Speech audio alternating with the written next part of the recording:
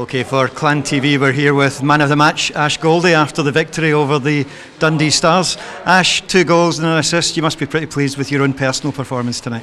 Uh, yeah, I mean, uh, it's always good to chip in and help the team win, and uh, you know, there's no bigger win uh, this season than tonight. So uh, hopefully we can carry it in uh, to tomorrow and have a similar result. It was a good, honest win for the guys, I thought, tonight. You know, Dundee were a tough team to, to overcome. They came right back at you after you'd been two goals up. You mean so you seemed to manage to find a way to push through tonight? Yeah, I mean, uh, they, they fought back, and uh, you know, we kind of let them back in the game there. But uh, you know, we showed some good character tonight, and uh, you know, we managed to, to get the lead, and they uh, we, held on in the end. So it was a good result for us tonight.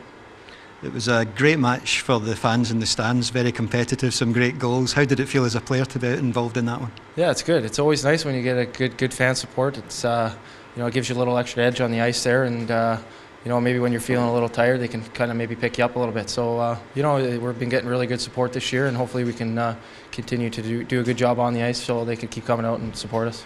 Tomorrow night, another tough task. You've got Dundee again on the road. What are your thoughts on that one? Well, I mean we just got to uh, you know keep it simple, and uh, you know, hopefully we can uh, you know, put in a good, a good effort there. And there's again, it's the it's the biggest game of the year tomorrow again, so we have to uh, come ready to play, and uh, they'll be ready to play because uh, they want to um, hold on to their spot in our conference. So uh, you know, hopefully it's it's a good game for the, the fans, and hopefully we, we come out on, on top.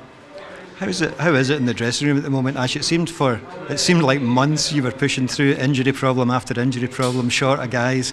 Seems touch wood, everybody's fairly healthy at the moment. That might, must make a huge difference to the way the team approaches games. Yeah, I mean, uh, once you can get everybody back in the lineup, it's uh, it's good because there's competition there too. So um, you know the guys push each other, and uh, you know the, the biggest thing is though when you're winning. You know everybody's upbeat, and uh, you know that kind of carries on to the ice. Everybody's having a good time. So uh, we went through a rough patch, patch there, and uh, you know hopefully we can uh, continue on. We've been playing some pretty good hockey, so hopefully we can keep pushing forward. Good luck tomorrow night, Ash. All right, thanks.